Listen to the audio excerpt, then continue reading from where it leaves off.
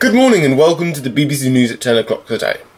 A boy named Joshua Webb, who was 16 years old, fell off his chair yesterday in college because Miles Hempstead moved his chair and made Josh fall off his chair.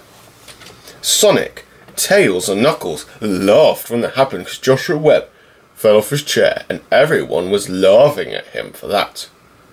Our next news report is a boy named George Santos, who is 16 years old, killed a 17 year old boy named Callum Bowler because Callum Bowler was modding.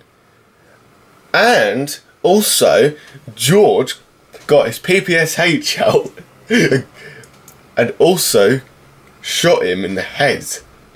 And here's a footage of Callum Bowler getting killed by George Santos.